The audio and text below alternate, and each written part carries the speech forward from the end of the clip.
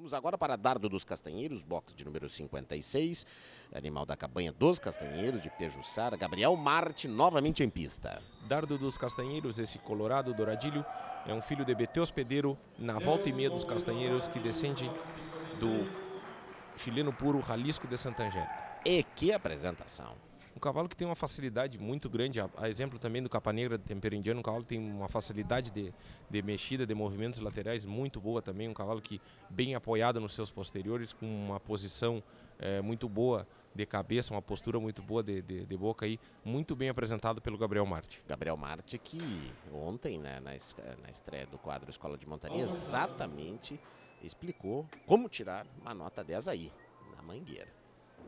Mostrou lá como ele faz o, é, o seu trabalho no seu centro de treinamento. Deu de um lado, com um bom trabalho. 6,75, 7, 6,5 foram as notas da primeira pechada. E a segunda agora Provavelmente sendo... vai ter menos nota nessa segunda pechada. Visto lateralizado. Ele... Isso, e ele demorou um pouco mais a, a, a vencer o novilho. Foi empurrando.